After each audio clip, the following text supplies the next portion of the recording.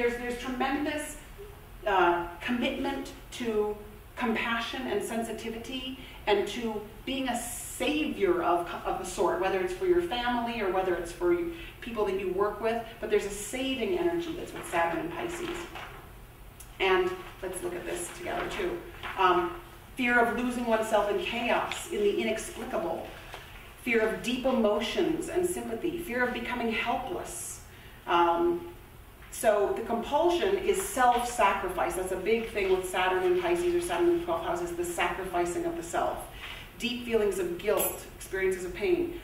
When you really start to breathe in your own authority and you start to give yourself to that, like, yes, I'm sensitive, but I'm also strong, you know, then you have true brotherly love, true connection, deep sensitivity, selfless love, um, a mature trust in the self that will guide you.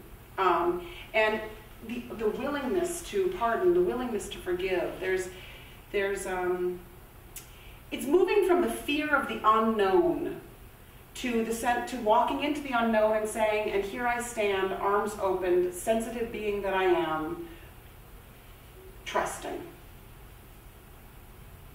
How does that sound? so if you put Saturn and Pisces in the fifth house, you walk into this great realm of creativity that is this great unknown, and you stand there, arms open wide, perhaps, you know, experiencing pain, but also perhaps in a, such a state of openness and vulnerability that anything can happen. And it's terrifying when you have Saturn in Pisces or Saturn in the 12th house to do this and to walk into the unknown. But that's exactly your cutting edge. That's exactly your line, of, you know, the line that you have to walk. Yeah, and another Saturn in the 12th house. That's the unknown responsibility, since it's in Capricorn. Yeah. Like, wow. Yeah. okay, I'll be responsible. Unknown responsibility. Yeah. Well, the 12th house is the house of the subconscious and the unconscious. It also rules hospitals. It also rules prisons. Remember, interestingly, um, it also rules. It rules anything that society you know, sort of society's underbelly. Yeah, underbelly. And so I wonder, I don't know how that would manifest in your life, but um, yeah, there's something. There's something about organizing to to save, organizing to be of compassionate help in the world, organizing to say hello love. I was just going to say that. I mean, you do hello love. Did anybody else want to share their Sabian symbol? Yeah. I love math. it's so funny. It explains my whole life. explains a lot, actually, not like a lot. Um, a five-year-old child carrying a bag full filled with groceries. it says rising to the occasion when asked to assume social responsibilities ahead of one's normal development, accelerated growth. Yeah, makes sense for me. Yeah, yeah. Yeah, given responsibility early, early and, yeah. and yes, yeah. And that's interesting, like the idea of, with Saturn and Capricorn people, they, they, they, they, seem so capable that, that they might be given responsibility early. And then that might have something that we could talk about as far as the 12th house, like not wanting that, so, hiding it away. So like, oh, I'm not really that responsible, don't give me that, you know, because the 12th house wants to hide it away sometimes. So um, it's interesting, yeah. Yeah. A woman reading tea leaves? Ah. A woman, yeah. So I didn't know that. What did I write? What, what, what's written underneath? The ability to see the signature of hidden meaning in every occurrence, drawing one's attention. Clairvoyance. You, if you want to read the whole thing afterwards, you can read the whole thing. But, but I mean, it's, it's something for you. I mean, that, that makes sense to me about you, absolutely. You know, in the moment being able to extract the value of something or extract the meaning of something or the in a, in a sort of magical moment. And you have saturn in the second house as well. So the about values and serious attention to those things that have value and what has value and you put your attention on it and magical things happen and you see the meaning in things. You see about beyond the physical forms of things. I, I think other people may see clearer. What? Other people may see it clearer because yeah. they come to me or something, but it just, I don't, I guess, necessarily see it myself all the time. So. You're writing, yeah, yeah. so, and and these images are, they- they're things that you can really sit with and, and see if they, if, you know, if they have resonance for you or not. Yes? Mine seems a little, I, I don't understand it, so maybe you can help me with it. It We'll says, see. An illustrated lecture on natural science reveals little-known aspects of life. I wish, I think I still have your Jupiter one, which was, was it, yeah, I think your Jupiter one that was hilarious, that you need to read, because I was like, what will I say about this? It was like, a boy on his hobby horse, it was sort of, you know, I can't remember what it was, but, um, okay, read this again, an illustrated, An illustrated lecture on natural science reveals little-known aspects of life. okay, and then what underneath? The ability to explore unfamiliar realms and discover the laws underlying the complex process of nature. Exploration. Hmm, That makes sense for me to about you. Okay, here's a, here's a, a dear friend. Can you- does. What makes sense about it, too? Um, I don't know. It's just, it's it's very natural to you, to me, and and the point that it's illustrated. you know, Yeah, it's just that. No, it seems that, that it's not so much about a lecture type of thing, but do actually hands-on experience for you to do that, uh, uh, you know, to, for your own exploration or something. You see things and stuff, and you can analyze them easily. Yeah, it's It you kind of know natural. you kind of know nature. You kind of know the way God's laws work, the, how the universe works. It's not a big deal for you. So you And know you see that. it 3D. is there a final word underneath, too? Exploration. Exploration, yeah, exploration. Okay, you know, and I mean, again, in a way, the best way to use these is to sort of let them kind of like, hmm, as opposed to like really trying to di- dissect it, but just like, okay, and have just have an image of yourself doing that even, or an image of yourself in that, and see how it feels, and you know, and it might have a clue to how to get your Saturn working, you know, it might, or it might have a clue to where you felt limited, or it might have a clue to where you've, you know, felt responsibility early, or you know. I have to, I have to say, I, I must have been like eight or nine, and my parents are in the service, so they would always go to the Navy Exchange or the commissary like once a week or once every two weeks. And then because we didn't go often, we'd get all our groceries, you know. So I'm the oldest, and there's like two huge carts that my mom with her three little kids Taylor, you know, in the grocery store.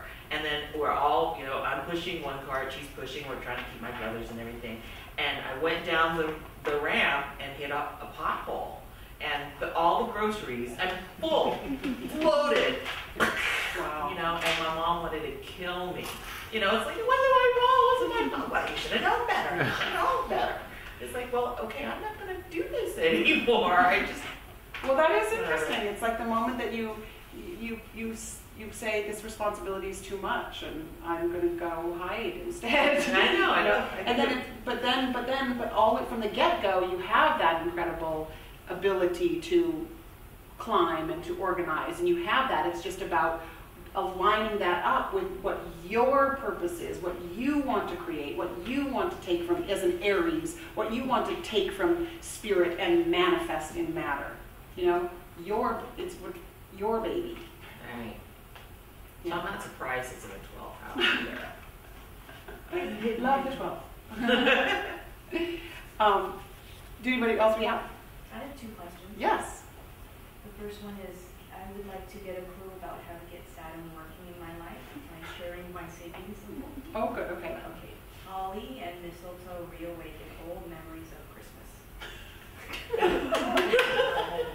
a, a longing for the pre-intellectual state of consciousness. Mm. A return to the source. Mm. So to me, that feels like.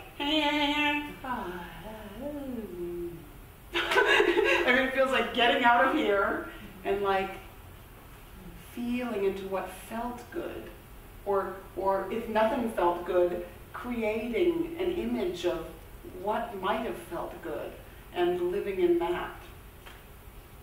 Yeah. It's sort of that red. Can you read the Sabian symbol again? Sure. Holly and mistletoe reawaken old memories of Christmas. There's something about that, and then the next sentence, which is A longing for the pre-intellectual state of consciousness.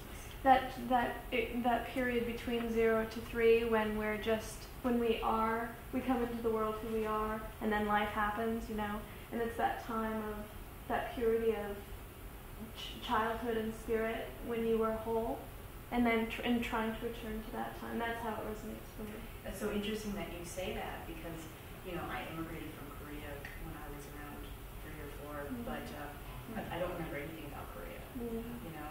So it's almost like that, that, that age period that you're talking about between zero and three, I almost have to like recreate it. And yet that's who you are. I mean, we, we, that's when we become who we are. So there's that time that you don't remember, and yet it's who you are today. That's great. Yeah, and it's also, that's wonderful, it's right on, and it's also like before great loss, before, you know, great responsibility, and maybe, and it's before you even didn't want to speak. Do you know what I mean? It's the Saturn and Gemini before the feeling of fear of speaking out.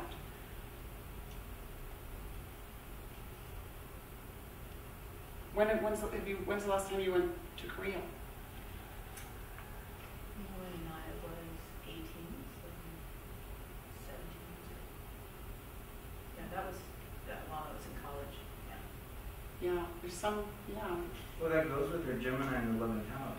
Saturn and Gemini and the eleventh, eleventh house being groups or communities and stuff, and talking about Korea and stuff, talking about to what community do I belong? To what uh, group do I belong? You also have a Sabian symbol for your rising sign. That it, remember the that I like so much. Yeah. Uh, The, the um, Indian girl introduces her white boyfriend to her tribe. but what I love about that is that it's the blend of cul- you know commu- cultures and communities, and you know even just like Maria now studying you know the uh, metaphysics or whatever, and introducing that into a community that isn't necessarily like uh, you know thrilled about it or or uh, knows about it. You know, I mean, I feel like you are this bridging energy, and maybe there's some kind of bridge between exactly what Melanie just said, this zero to three time that you can't even name in a way that has some holly, holly and mistletoe in it. you know, I mean, the, mm, the, mm, the pleasurable oneness. Mm, Return to source. yes. So my second question is, what is, can you talk a little bit more about a quintile? Yeah. The aspect quintile? A quintile is an aspect of sort of fabulous, it's 72 degrees apart, and it's um, electric